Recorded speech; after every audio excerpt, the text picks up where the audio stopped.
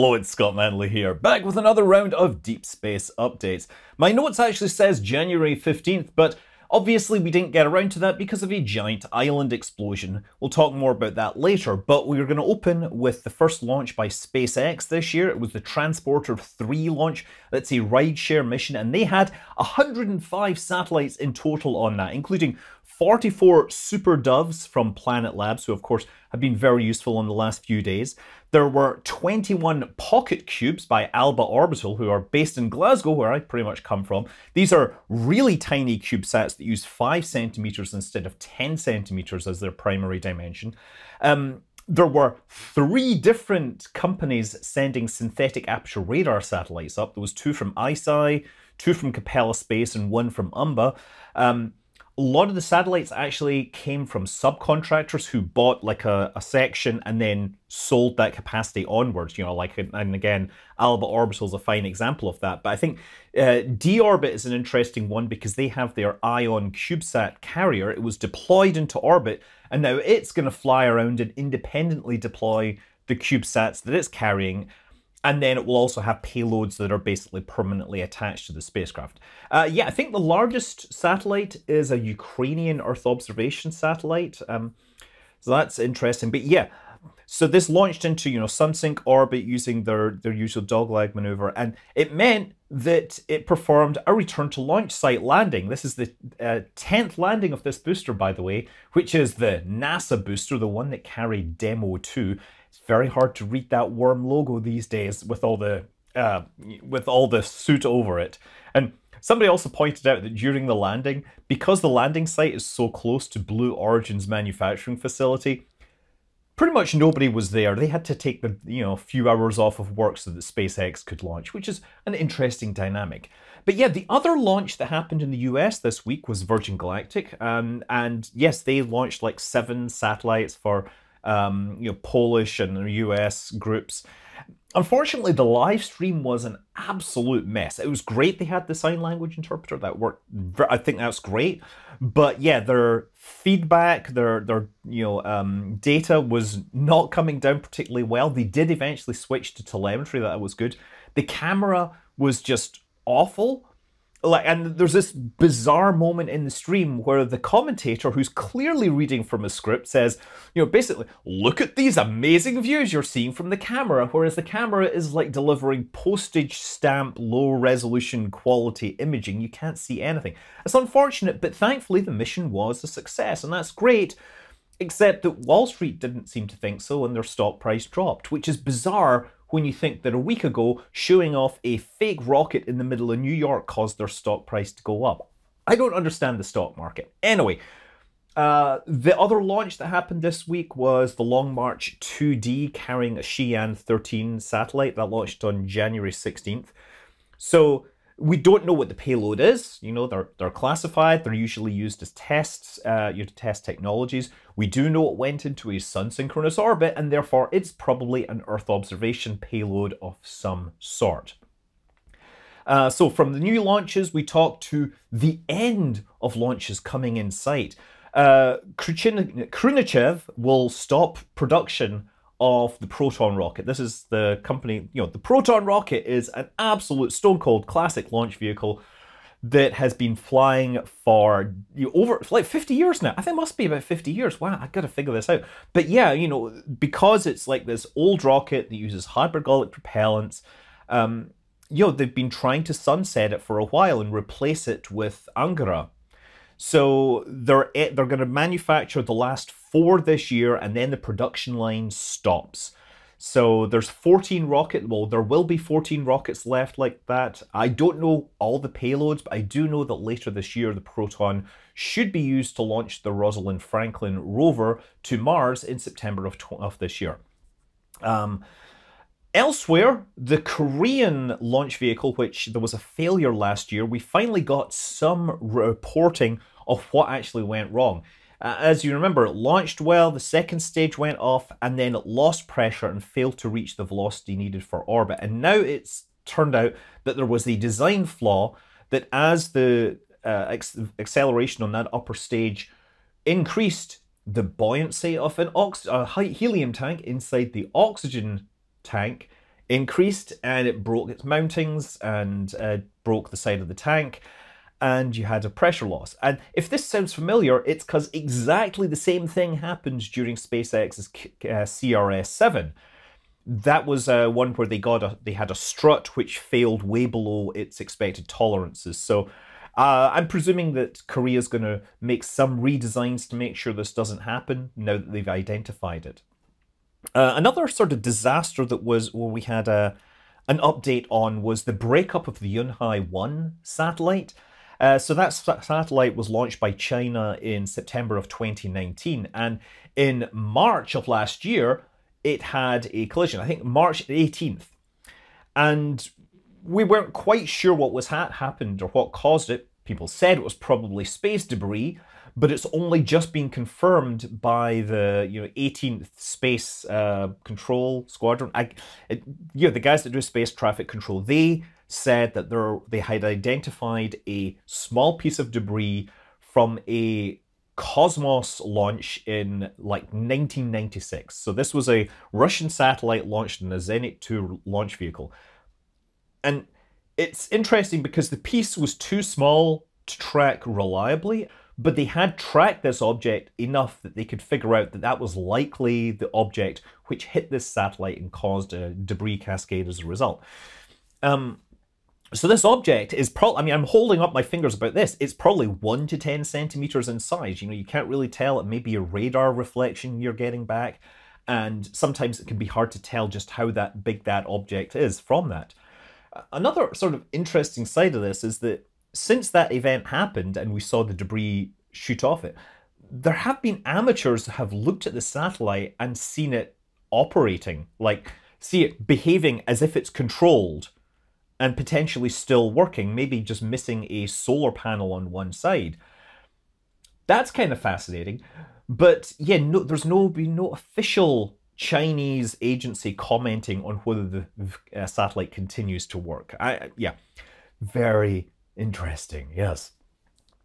Okay, everybody wants to know, uh, always SpaceX, Boca Chica. I mean, yes, things got built. The coolest or most interesting or most, let's say, the most eye-catching thing that happened this week was another test of the chopstick system that moves up and down the tower and pick, is supposed to pick up the booster.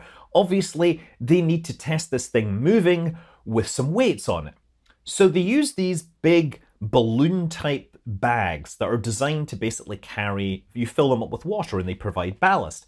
Now these come in like 20, 30, 50, 100 ton variants. And when that thing is moving up and down with ease, yeah, those look like very pendulous, you know, sacks of water. Look, I'm sorry, all I see is truck nuts for space hardware. Uh, I mean, maybe that's just because, like, you know, Texas or something.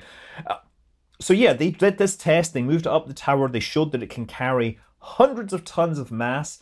There may have been some sagging associated with it. They'll probably look to see if that's within expectations we might see future tests, we might see changes to this design, but again, any actual launch is still going to be predicated on the FAA and possibly other agencies clearing the area for you know upgrading from a Falcon Heavy style rocket to a Starship class rocket.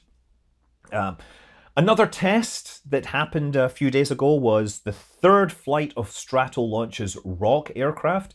Now, Stratolaunch are no longer in the business of launching rockets into space, but it's still the widest wingspan aircraft in the world. Therefore, I'm sort of interested in it. Yeah. So this was the third flight. It flew for about four hours, 20 minutes, and they took it up to like 24,000 feet. Um, only flew at an airspeed of 180 knots. And the reason is they still are testing the landing gear on this. So previous flights, they haven't really folded in the landing gear. They, they started that on this one. So they folded in a section of the landing gear and then folded it back out just to verify that they will be able to land, right? So this is a big thing. They don't want to find out there's problems with all of the landing gear. So they're working up to this. Um, but yeah, ultimately, this is supposed to carry hypersonic test vehicles called the Talon, the Talon A. Uh, you basically bolt your experiment onto their test vehicle and figure out that it gets very hot when it flies very fast. Um, now, um, So, in the last week, there was a paper in Nature, which is a big deal for space medicine. So, the the analysis, well, basically, the the headline is that hemolysis cont- contributes to anemia during long duration spaceflight. So, what is hemolysis? Hemolysis means like the breakdown or suicide or, or death of cells. Lysis is cell death.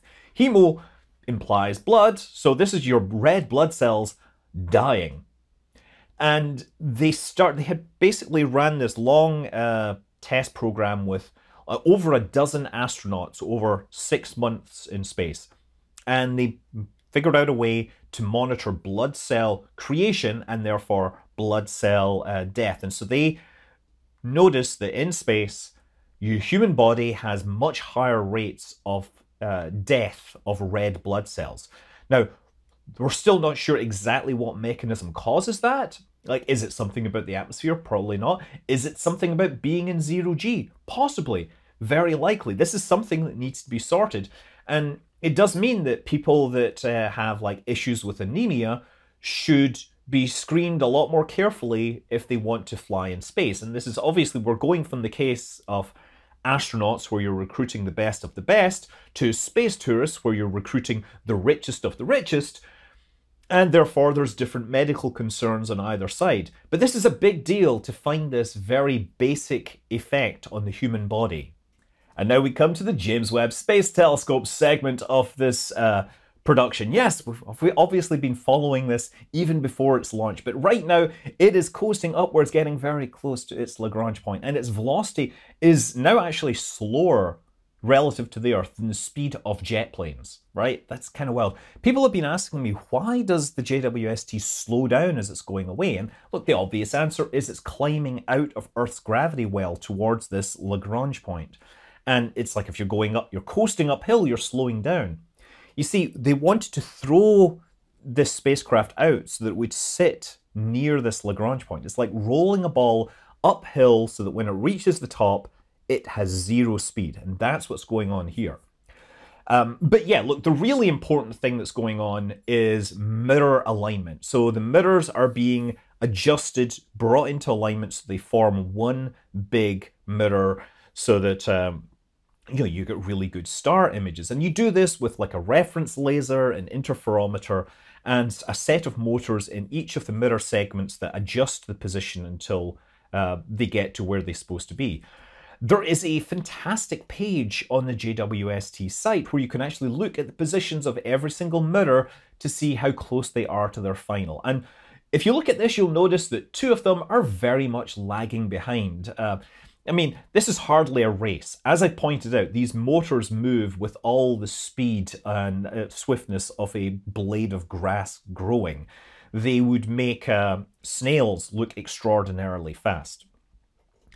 But the two that are lagging behind, that is because they actually discovered flaws in them before launch. Not flaws in the mirrors, flaws in the motor system. So they, they have a set of sensors, and the sensors work together to provide very accurate readings. And in these two mirror segments that aren't quite right, the sensors have lost, or the sensor, they've only lost, they've lost one of the sensors. So they can't, they have come up with a way to figure out how to get these into position, but they want to get all the others in position first and then they'll do the follow up. Basically, this was a problem they found in the vacuum chamber and they looked at the process of what it would take to take the thing apart, put new ones in, get them working, and they realized it would set them back by such a long time and they had a process, it was a workaround. So they basically launched with not 100% functioning hardware and hopefully that will be fine Otherwise, that person uh, that made that decision is going to feel very bad. Yeah. Uh, yeah, that's unfortunate. But look, it's looking that it's good right now. Um, so as we spoke right now, um, there's literally a meeting right now at NASA, the Human Exploration uh, and Operations Committee meeting. And this is, you know, Kathy Lueders and all the important people basically talking about the human spaceflight program. And this, it's all public. Um, so there'll be probably more updates on this next week, but right now it looks like Artemis launch has going to be towards the end of the March launch window, but I'm going to say more likely the April launch window.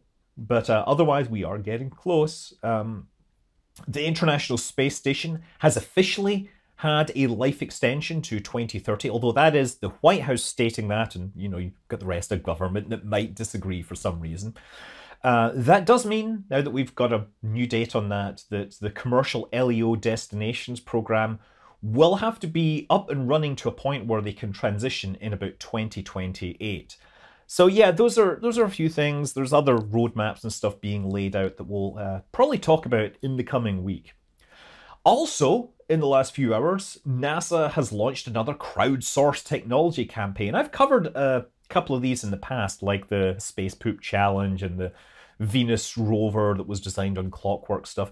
So this is called the waste to base materials, and they're, what they're looking for is, you know, technologies, well-designed, you know, researched proposals to reprocess waste into useful stuff. And waste can include, you know, in general stuff like you know trash, um, you know, fertilizer from waste food or um, human poop. It can be wrappers or foam, like all sorts of stuff. What can you do this? Well, instead of dumping it, wouldn't it be great if you could say take those polymers from the foam and the packaging and say turn it into 3D printer food stock? Yeah, I'm sure there's a lot of ideas out there, and the whole thing is that you can submit something, you can design it, lay it out, and if your proposal looks good enough, there's a good chance of, of winning a prize. And then, of course, you know, you get to continue working on your idea, which can be a, a really cool way to get forwards in your career. And finally, yeah, back to that uh, story I sort of started with uh, the island of Tonga, which has been massively affected by a huge volcanic eruption, which was easily visible from space. Um, so, as of right now, communications with the island are coming back, and we're getting reports on the state. Everything's a mess. There's volcanic ash all over things. There are a lot of coastal sites have been damaged. Some islands were completely overrun by the tsunami. Uh, there have been at least three deaths reported on the main island, but there are a lot of smaller outlying islands where we haven't necessarily got any communications back. Satellite photographs have shown that some islands have been basically overrun. Uh, there's layers of ash on top. Some structures are completely gone.